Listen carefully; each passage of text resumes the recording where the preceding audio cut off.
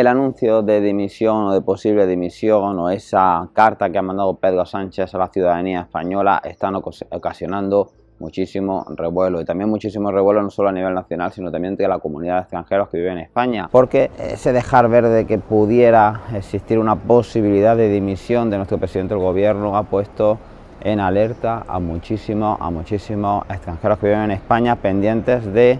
muchas cosas, sobre todo de la aprobación del reglamento de extranjería que sabemos que va a traer importantes novedades para la comunidad extranjera que vive en España, de la posibilidad de puesta en marcha de un proceso de regularización eh, que, es muy necesitado por más de 500.000 extranjeros que viven en nuestro país y además, y además eh, la falta de publicación oficial de la prórroga de la ley de memoria democrática. No olvidemos que se ha anunciado por el gobierno pero que esta prórroga no está publicada en el boletín oficial del Estado. Claro, la inexistencia de un gobierno, la anticipación de elecciones, eh, nos pone a todos un poco en esa incertidumbre de qué va a pasar con todas estas cosas. Si finalmente va a haber una aprobación del reglamento, si no va a haber aprobación del reglamento, si va a dar tiempo a aprobarlo antes de que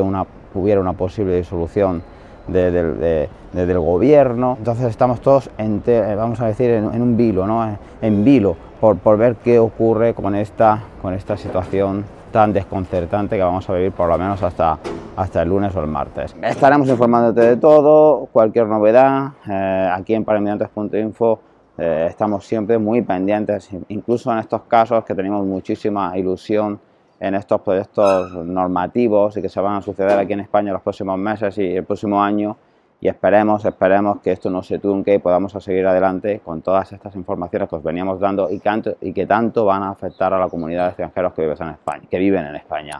Un saludo desde Almería, que seguimos hoy con la jornada, un congreso que estamos de abogados de extranjería aquí y aprovecho para dar un saludo a todos mis compañeros. Un abrazo.